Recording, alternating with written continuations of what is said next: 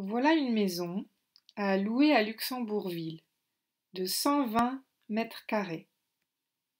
À l'intérieur, il y a un grand salon avec une cuisine équipée ouverte, un WC, une salle de bain avec baignoire, un balcon et des escaliers.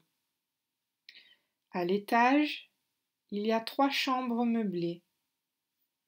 À l'extérieur, un jardin exposé sud et deux places de parking.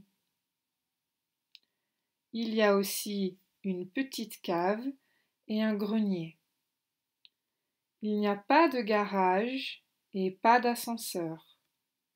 Les animaux sont acceptés.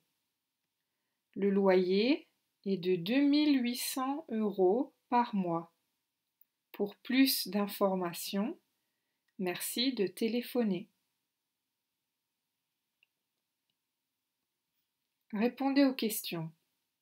Est-ce que la maison est à acheter? Quel est le loyer de la maison? Il y a combien de places de parking? Est-ce qu'il y a un garage? Est-ce que je peux avoir un chien? Où est la maison? Qu'est-ce que je dois faire pour plus d'informations? Il y a combien de chambres?